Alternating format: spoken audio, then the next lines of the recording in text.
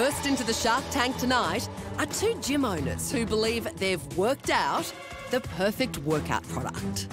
The last nine months has been pretty crazy. We started off just selling you know, a few packets a week to friends and family, and now there's orders coming all around Australia.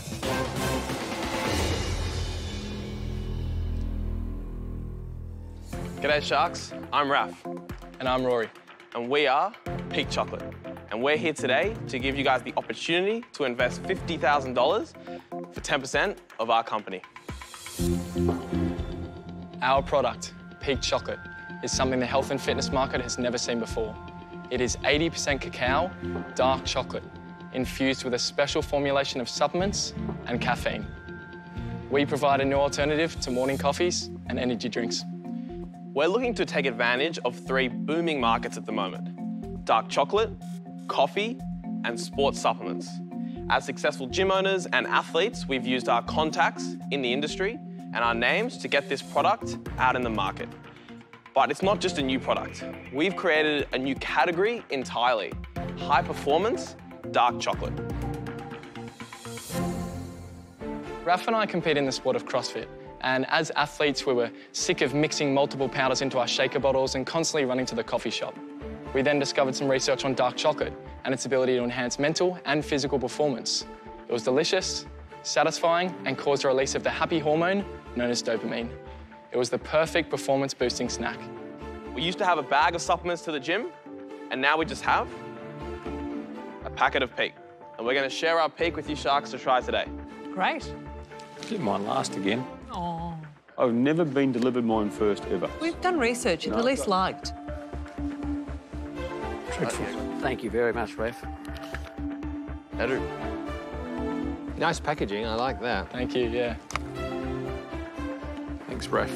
That's $50,000 for 10%, valuing your company at 500,000. Yep. So what's your background? Uh, Raf and I went to school together. We basically got straight into health and fitness after school. We've been on personal training and fitness training for the last uh, almost eight years now. We got into CrossFit gyms, so we opened one. We now have three. We've had three gyms for essentially three years. So if I'm about to have a workout, how much of this should I eat now? If you're used to drinking quite a lot of coffee, the recommended serving size of two rectangles is going to do just right Two rectangles. You'd love this, Janine. It's crammed full of chemicals. Leucine, isoline, violine, all the lines, amino acids. They're actually some of the really beneficial branched chain amino acids. Some of the really Sorry. beneficial chemicals. So he, he They're just... some of the really beneficial chemicals. You're all. Yeah. I have to tell you, it tastes pretty good, though. It's Now a good chocolate. Yeah, thank you. And in terms of all the supplements that we use, a company called True Protein that already sponsored Rory as an athlete because he's in the top 10 fittest men in Australia. And they Top do. 10 most fittest guys in Australia. Yep. H- how, explain that. So the title that CrossFit uses when their athletes do particularly well in the sport is they basically call them the fittest. So uh, what Raf means when he says that is that uh, in previous years I've finished in the top 10 in the basically CrossFit category in Australia. Can you just give us a couple of... Couple Come of on. pull-ups? Yep. Yeah, yeah. Come on. Let's see, there's one, Oh, my God, how easy Two. is that? three, four, five. Better give me 10. Six, Rory. Seven, seven. eight, nine. Look, he's smiling when he Ten. does it. Well, If like, I can hold this a little bit longer for you guys. Okay, that's that's a walk in the park. That's Yeah. impressive. Here Come we on. go. Who's up? Who's up for a bit? I'll, I'll have a bit of chocolate first. Here we go. Yeah, okay, here we go. Let's see it. Okay. Oh, don't, don't get so professional. One. Oh, That's not good. bad. One. He's going for 10. Two. Three. Just make sure we get full Okay, lockout at the bottom, enough, mate. full Come lockout. Four. That's enough. Oh, great Come job. on, come off. Hang on, he's got no, no, no, no. five. That- that's enough, mate.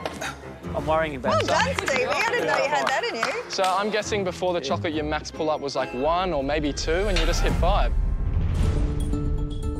So you're pre-revenue now. You don't have any customers yet. Oh no, we've been live for nine months and we've had $65,000 in sales and over a 1,000 customers.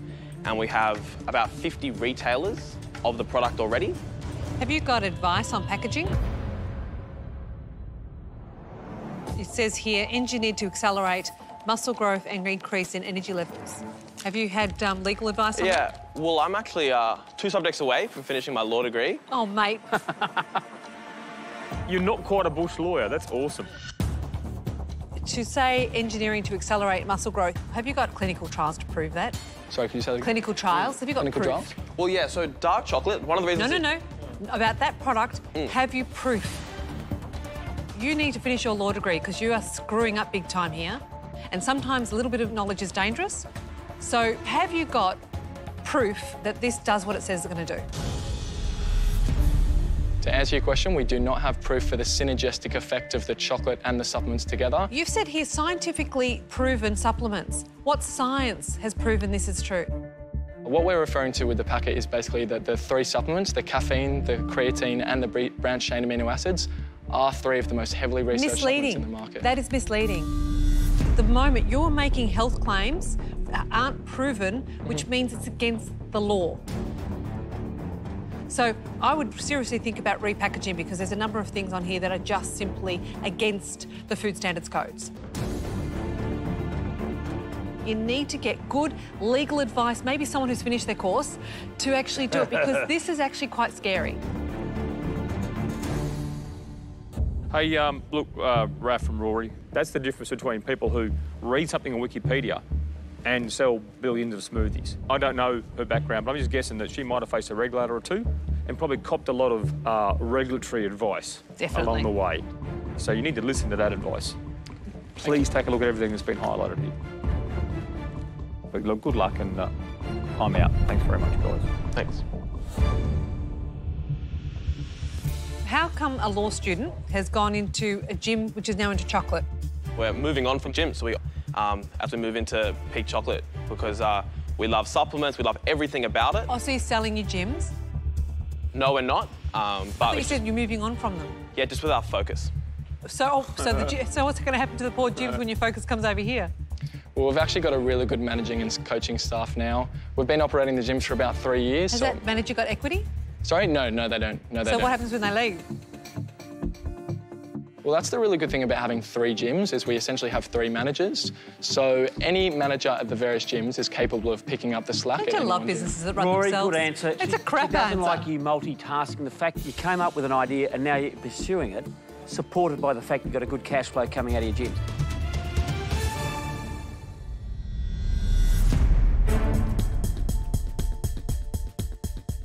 Raf and Rory, I uh, applaud your ingenuity. Great job on running some gyms and showing that you can sort of manage a business. But for me, you're just too early. On this one, I'm out. Yeah, thanks. The fact that you guys are positioned in the fitness market, I have no doubt you're going to sell a whole bunch of units. Whether that becomes really commercial and really exciting, that's going to be the future, and I wish you luck. Uh, don't give up your day job. I'm out.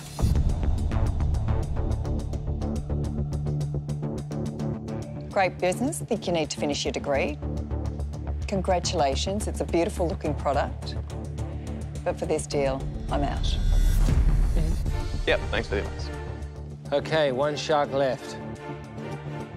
Um, what I like about you guys is uh, a number of things. Um, one, that you've actually proven record that you actually can run a business. I'm a dark chocolate eater. I mean, I do, I do like it, and I understand the benefits of it. And you know, certainly the French live a lot longer because of their dark chocolate. The, um, I've expressed today some concerns. You cannot make health claims. Full stop. Like, stop it. But that can be overcome.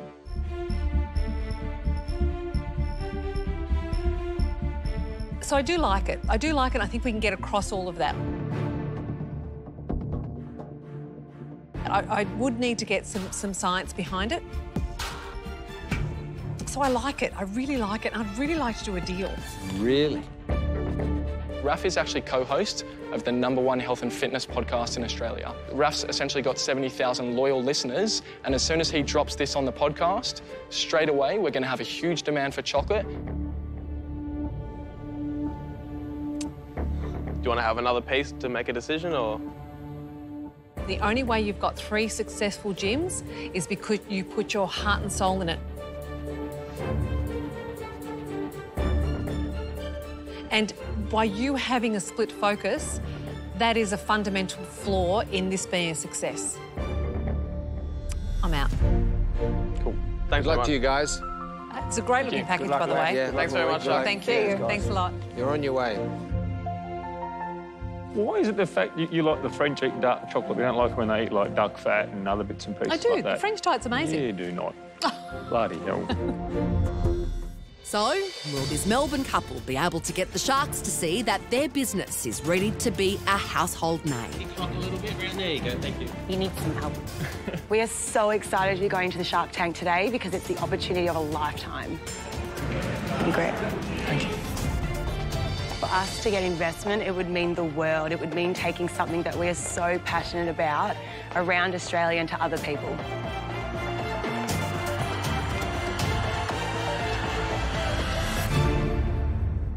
Hi Sharks, my name's Andy And I'm Jasmine. and we're the creators of the Pole Room. Today, we're asking for $100,000 for a 15% share of equity in our company.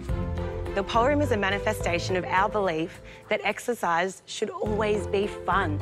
So we've developed a pole dancing for fitness program that can take anybody of any age, of any past experience. Sharks, with your investment of $100,000, we plan to take our Pole Dancing for Fitness program online and franchise our operations across Australia. The Pole Room is ready to put the health and fitness industry into a spin. Oh dear. Oh, very nice. Wow, that core strength. Great core strength. That's impressive. Very good. so that was Andy and Jasmine. Correct. And you're looking 15% for $100,000. So you're valuing it around 660, is that right? That's correct. Correct. Yeah. Who wants to give it a go? I gotta give it a go. I'm gonna give it a go. Stepping with the right foot, what you're going to do is you're going to come around, you're going to bring your knees together, and you're going to spin around. Yeah! Oh, okay, not quite dressed for it. Well done. Well done. That deserves a $5 note. So where did you start? How did you start the business and how did you fund it? We actually started with a very small amount. I quit my job when I was 23. I was in retail and doing PT, and I'd finally had enough. And I decided to open a pole studio with $2,000. And I was very lucky to be gifted by an old student of mine uh, $10,000 who believed very much in me. Wow. It's quite emotional thinking about it. Um, she. Sorry. She's really unwell. Oh, I'm so sorry. It's okay. She's. Take your time. They say that all we need is one person to believe in us. It was everything. You're absolutely right. It was the difference between me going back into retail and me finding a small space. And I set up eight poles and I taught pretty much every class. and within a, a few months, six months, Andy had quit his job and we moved into a 400 metre square factory. That's a fantastic piece of generosity. But uh, what's the earning capacity of investment into a pole dancing studio? So in 2015-16, our total revenue was 450,000. And so after everyone gets paid Yeah. and all the bills get paid, what's the bottom line? Yeah, so we profited $100,000. Very well done. I mean, nothing to be sneezed at there. Thank you. Um, Jasmine, you've got $100,000 investment. Tell me about three years. What can I expect as an investor?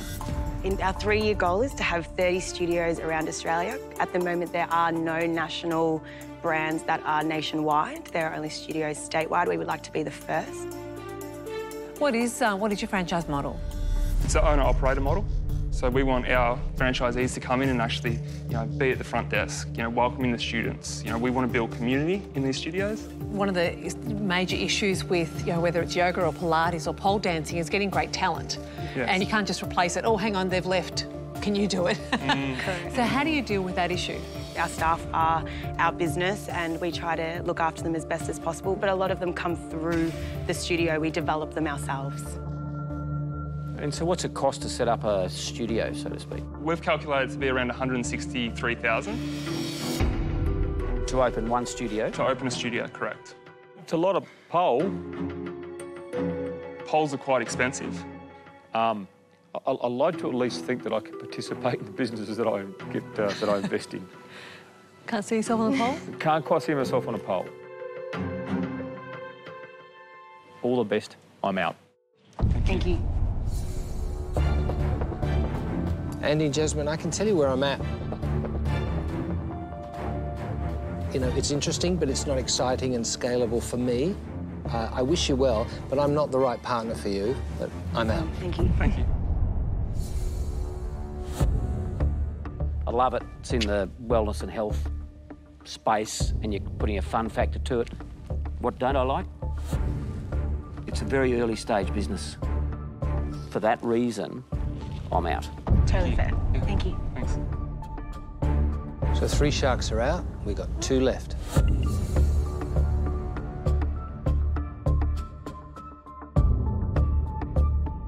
Jasmine and Andy, congratulations. Thank you. The thing that I do know about the fitness space is it's a very cluttered market. Correct. And for that reason, I'm out. Thank you. Thanks. You are very impressive, and there's there's a few things that sort of cross my mind because in actual fact I go, oh, I'd like to do a deal with you because I think we could work really well together. Um, there's a couple of things that I've got to sort of get some clarity around. The first one is getting um, a franchisee. You've got a small pool, and the reason you've got a small pool is you need someone one passionate about pole dancing, and to make money they need to work in it. Yes. The second one is I've never seen. Uh, an industry so quickly growing of Pilates and, and yoga. And the reason that's an issue for you is because it's a land grab. Yes. And trying to find those great studios is really difficult at the moment.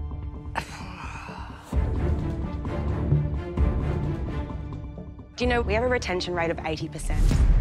It's pretty good. Really? Mm-hmm. Yes. Like, really? Really? There's no industry that has an 80% retention rate in the exercise. None. That's why this is so great. Wow. Oh, come on, Janine, they're in Melbourne.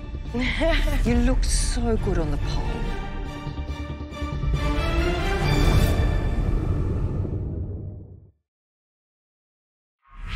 Jasmine and her partner Andy have just pitched their idea to franchise their Melbourne based pole dancing studio across the country. Do you know we have a retention rate of 80%? Pretty good. Very well done. I mean, nothing to be sneezed at there. There's no industry that has an 80% retention rate in the exercise.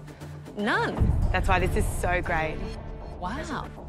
But despite impressing the Sharks, Janine is the only one left who looks like she might do a deal. Oh, look, you know my problem is I know too much. I know too much about franchising. I know how hard it is.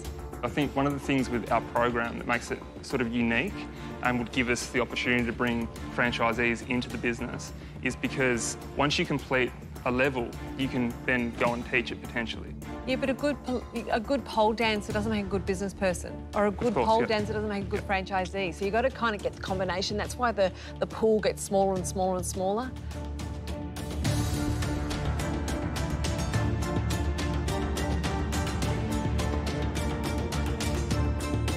I'm sorry, I'm out.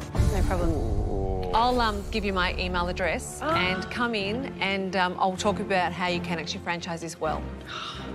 You're wonderful. Thank you. My pleasure. We used to live in Ringwood East, and I, when I was reading your book, I was like, Janine used to live here. That's right, I did. There's magic in the water. there is, there is. All the best to you. Thank you so well much. Well done. Well done, ladies. Cheers. Thanks a lot. Bye bye. How great was it that someone believed in her? I know. That someone believed in her, she got the $10,000, and that woman didn't do it for the money. No, she She did it because she was backing a winner. No, I just right. thought that was beautiful. Next into the tank is mechatronics engineering student Benny Tong. My dream since when I was a child was to build robots. The thing that fascinates me about robots is that it makes people's life better. We can change this part, or like you say, we move it out a little bit. Yep. My product has already changed my life. I believe that it can change many more people's life and help them.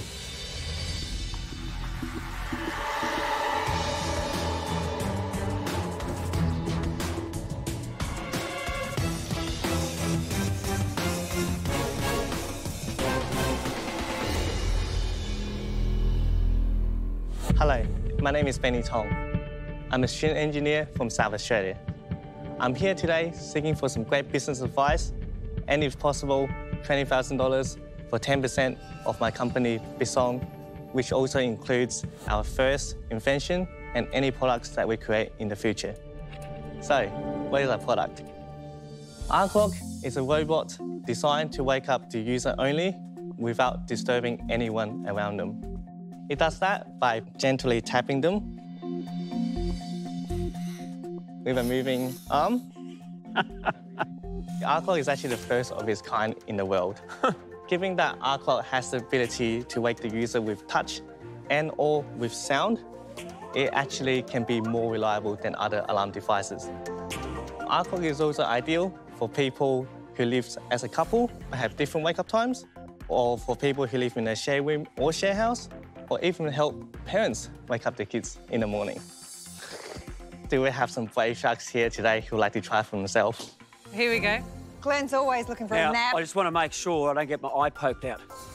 no, to be honest, after five years of testing, it never happened. To just give that extra insurance to parents, we include a foam ball on the end. Okay, so I don't get my eye knocked out. So where do you want me? In bed? No, no time, Glenn. Into bed. we might never get him out. That's it, he's done. Pretending to be asleep. Oh! Oh! Get up, Glenn! Get up, Glenn! So to stop it, all we need to do is just press the snooze button. Okay, right.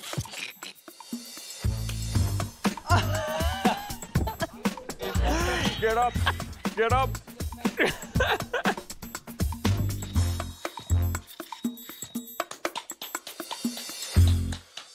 Could you pass me one of your little men? I mean, it's cute, but I couldn't think of anything worse than someone hitting me as I'm waking up. You couldn't sell it in America. People would shoot it. Can I ask a question that we're all thinking? Is this just a horrible idea? Uh,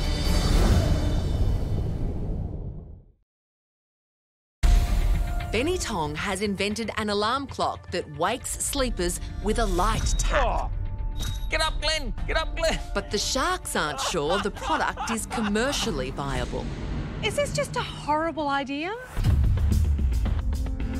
it actually does work because I actually use it for five years already. All right. I'm Steve. G'day, Benny. How you going? Mate, what kind of look one as well, please?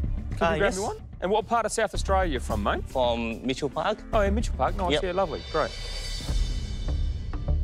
So, Benny, let's get serious about the clock. 50 bucks a clock, that's the retail price I noticed on your on the screen. Mm-hmm. What's it cost to make? Um, $15. So it's not a bad margin.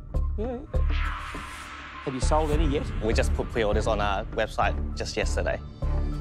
Benny, $20,000 is what your ask is for Yeah. for 10% of the company, so you Yes. valued it at $200,000. Yes, The $20,000, what are you going to spend it on? mostly on marketing Yep. and partially for manufacturing. If I was asleep and I'm about to wake up and it mm-hmm. hits me in the eye, like, it, have you considered sort of I that? have considered that, like the angle that it's coming down actually can't hit you in the eye because if you put it right next to you, it will just hit you on the side. Unless you're facing it. You can't guarantee that because people move in their I sleep all the time. I, I could not think of a worse way to be woken up. Unless I wanted to play a joke on someone. Mm-hmm. I, I don't mean to belittle your, your work, right? There's a lot of effort's gone into this. You obviously believe there's a gap in the market. I don't believe there's a gap in this market for a generic sort of run-of-the-mill, wake you up in the, in, in- in the morning type thing. But you know, as a novelty, this is this is amazing. This is you know just. I'm out, but please, mate, keep going. You're a smart bloke, and I really wish you all the best, eh? Thank you. You're so clever. I mean, whether this idea is a, a good idea or a bad idea, I mean, to even do it, it's very clever. Thank you. But my children are like massive. They're six foot three, four, five, right? They're huge. Yeah. And so they have big beds. Mhm. So that all they have to do is roll onto the other side and they wouldn't get woken up. Yes, exactly. I know there's um, these concerns, so we actually have extension. so you can actually extend it. Oh, you see? He's thought of everything. Shared income. Stop it! Stop it! That's that's gentle to wake up to, isn't it? Yeah, I imagine. I know it, even coming at you. Sorry about my colleagues here. Look, I I agree with Steve. I think you're, you're very clever and you've got millions of ideas. This is not the idea for me, though. Okay, no I'm out. Thank you. Please tell us Yes. you haven't put a lot of money into this. Um, no. Good. Good. I love your guts and courage for coming here. I'm looking forward to seeing the next big idea, but this one I was never in. So I'm out. Yeah, no problems. Thank you. At this point, I see you as an ideas guy. I hmm? do wonder if maybe you'd like to license this to somebody else who's going to manufacture and deliver it so you can get on with the new ideas and you don't get distracted with running what would become a, an enterprise. The other thing is marketing is really quite expensive and $20,000 isn't going to do very much at all. As an investment, it's not really working for me. Understand. I'm out. Yeah, no Thanks. problems. Thank you.